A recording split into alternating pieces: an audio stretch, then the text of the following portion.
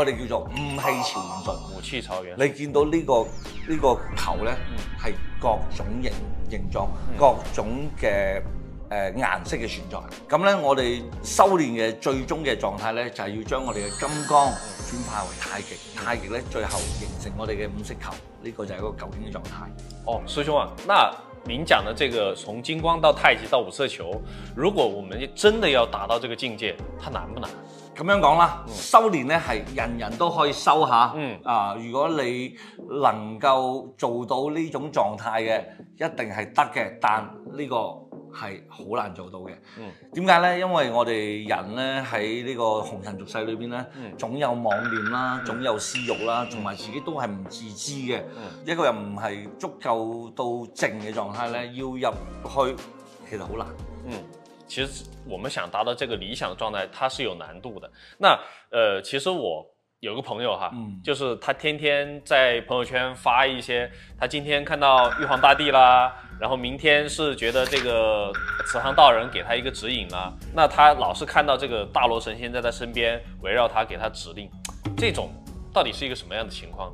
完全理解。嗯，我試過就幾個人坐喺度，嗯有個人喺同我直接咁講啊，我坐你旁邊。係啊，你知唔知我哋呢幾個人裏邊